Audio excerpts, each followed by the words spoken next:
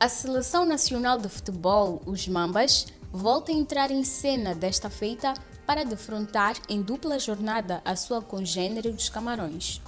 No dia 26 de março, a contar para a terceira jornada, Moçambique viaja até Douala, nos Camarões, para defrontar os Leões Indomáveis no remodificado estádio de reunificação com capacidade para 30 mil espectadores.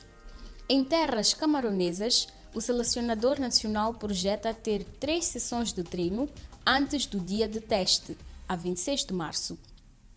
Quatro dias depois, ou seja, a 30 de março, os Mambas recebem os Leões Indomáveis no Estádio Nacional do Zimpeto para a quarta jornada de qualificação ao CAN 2021, que curiosamente terá lugar nos Camarões. Para esta dupla jornada, Luís Gonçalves vai divulgar no próximo dia 16 do corrente mês a convocatória dos Mampas. Moçambique lidera o grupo F com 4 pontos, frutos de uma vitória sobre o Ruanda por 2-0 e empate com Cabo Verde a duas bolas.